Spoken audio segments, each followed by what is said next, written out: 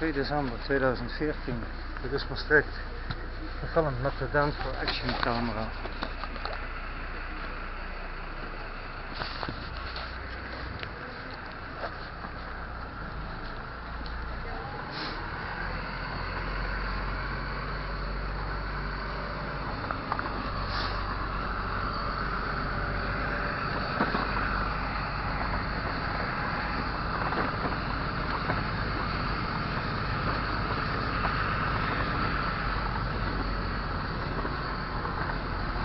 Maastricht in kerstsfeer.